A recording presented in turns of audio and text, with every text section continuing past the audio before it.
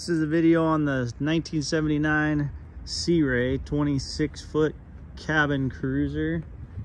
She's a older girl, but uh, not too bad. She's got the twin engines, her twin out drives in the back, twin engine 470s inside.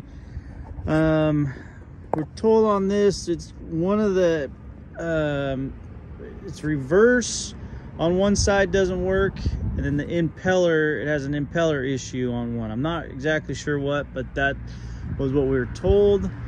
Um so we'll try looking at a little bit more but like I say be aware it does have some issues there. Uh, trailer trailer looks good. Bottom of the boat looks good. Nothing crazy. Pretty pretty clean actually. Uh, tires look good else we got up here. Tune 5 16ths on the hitch. Spare. Uh, it's got the new 23 stickers on there. Tires look good over here. We'll climb up.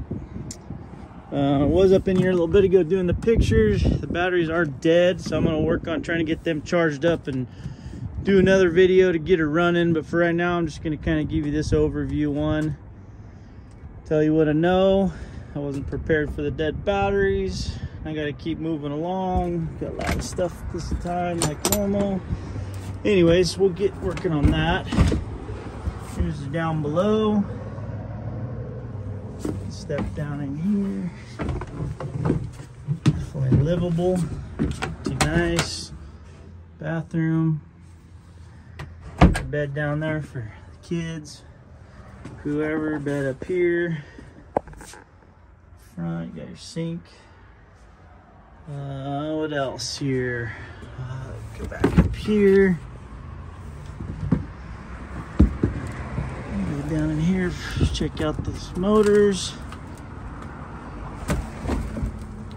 There they be. There's the batteries. Work on getting them charged up. So fire these off but um, yeah that'll that'll do her for right now. I'll just kind of give you overview. Um, check out those hours both motors